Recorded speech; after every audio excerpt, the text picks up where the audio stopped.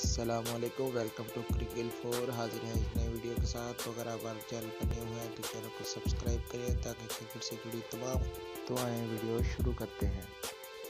रोटी gang क्या है और ये क्या करता है और किसके लिए काम करता है? दरअसल रोटी गैंग पाकिस्तान के चंद खिलाड़ियों का ग्रुप है, जो मिल बांट कर इंजॉयमेंट करते हैं और खूब मस्तियाँ करते हैं। जिसमें शामिल हैं हसन अली शताब खान, फ़खर जमान फ़हीम अशरफ और मोहम्मद नवाज़। इस ग्रुप की बुनियाद मोहम्मद नवाज़ ने रखी थी और इस ग्रुप के अकाउंटेंट हैं हसन अली।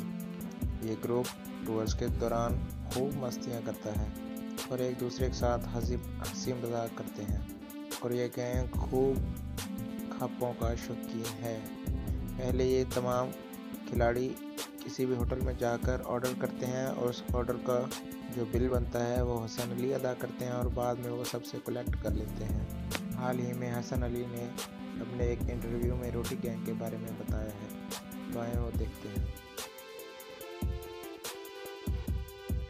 तो देर फ्यू नेम्स जैसे शदाब खान है और बेसिकली मोहम्मद नवाज़ ने ये सीईओ है हमारे। अच्छा। तो उसके बाद फ़हीम अशरफ आसफ अली फ़खर जमान में फिर बीच में बहुत सारे आते जाते हैं। रिक्रूटमेंट जारी है जी लेकिन ये ना ये पाँच से छह लोग ये परमानेंट है।